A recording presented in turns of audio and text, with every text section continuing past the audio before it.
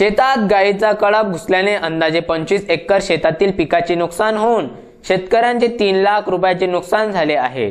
महागाव तालुक्यातील हिवरणा इजनी शिवारातील वसंत चिकराम अशोक कदम महेश पानपट्टे आनंद कदम यांच्या शेतातील बाराभाई तांडा येथील दोनशे गायीचा कळपा घुसल्याने शेतातील उभ्या सोयाबीन कापसी तूर पिकांची नासाडी करून पिकं खाल्ले. त्यामुळे शेतकऱ्यांचे अंदाजे तीन लाख रुपयाचे नुकसान झाल्याची माहिती मिळाली आहे.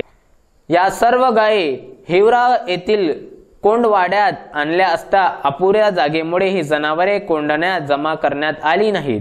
नुकसानग्रस्त शेतकऱ्यांची अल्प नुकसान भरपाई देण्याची कबुली पशुपालकांनी केल्यावर सर्व गायी पशुपालकांच्या स्वाधीन करण्यात आले.